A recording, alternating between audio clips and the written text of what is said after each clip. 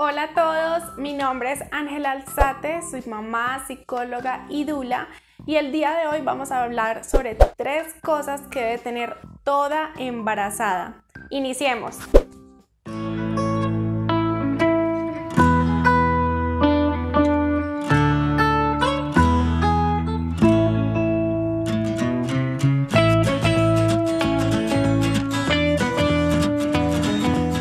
Bueno chicas, lo primero que les voy a hablar son sobre las vitaminas. Es fundamental que se inicie el consumo de estas lo más pronto posible con las indicaciones del doctor. Esas vitaminas son pues el calcio, el hierro, el ácido fólico.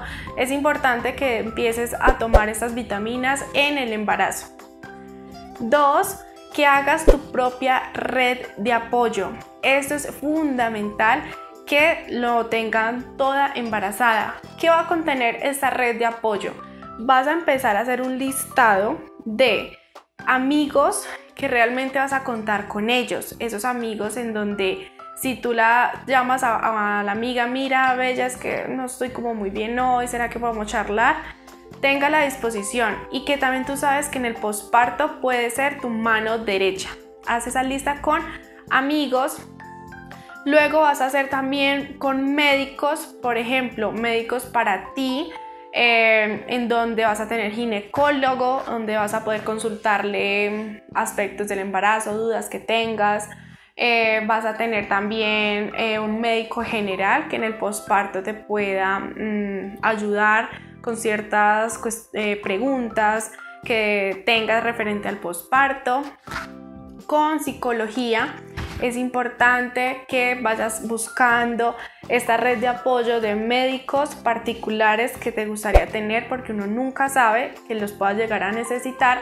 Entonces también eh, ese apoyo psicológico es importante que lo vayas teniendo allí, busques y, si te gusta lo tengas a la mano si llegado el caso en el posparto o en el embarazo. También eh, un pediatra que te pueda dar la mano con tu bebé en ciertas cuestiones, preguntas que tengas. Mm, también en páginas, hoy en día contamos pues con internet, en donde hay muchas páginas que brindan conocimiento, información, contenido de valor. Eh, por ejemplo, en Instagram está mi cuenta que es mi psicodula, acá en YouTube y así hay muchas otras cuentas que vas a ir encontrando y te vas a dar cuenta que brindan un contenido valioso para ti.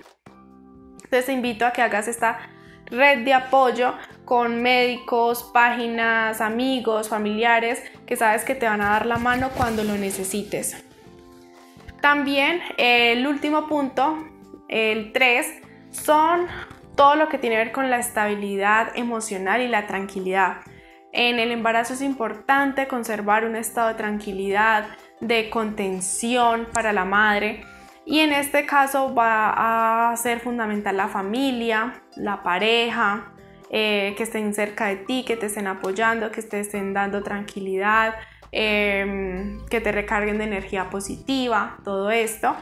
También aquí entraría el acompañamiento de Dula, porque las dulas hacemos un acompañamiento físico y emocional a la madre, en donde le vamos a dar confianza, seguridad, les vamos a ayudar en esa preparación para el parto, para el embarazo, el posparto.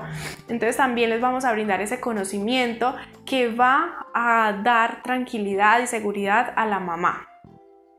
Y también, por ejemplo, tomar un curso de preparación emocional para cada etapa es importante conocer esos cambios que vamos a ir teniendo en cada etapa, cómo afrontarlos y cómo tomar todo esto con responsabilidad entonces allí podría ser de la mano de, una psicóloga o de algún curso. Recuerden que yo tengo un curso especializado en la preparación emocional para el embarazo, parto y posparto. Y esas son mis tres recomendaciones. Vuelvo y te repito, tomar las vitaminas, estar al tanto de todo lo que necesita tu bebé, vitaminas, controles, ecografías, todo esto. El dos, que son la red de apoyo en donde vas a ir haciendo ese listado con personas que te van a brindar apoyo en diferentes áreas, sea de amistad, de medicina, de conocimiento. Y el 3, el punto 3, es esa estabilidad emocional y esa tranquilidad que se necesita en el embarazo, que va a estar conformado por la familia, la pareja, tu dula y de pronto psicología para prepararte para cada etapa. Espero que te haya servido, que te guste, que apliques estas, estas tres estrategias y si te sirvió dale me gusta, comparte y comenta aquí abajo qué te pareció y en qué te puedo ayudar. Bueno, chao, que estén muy bien.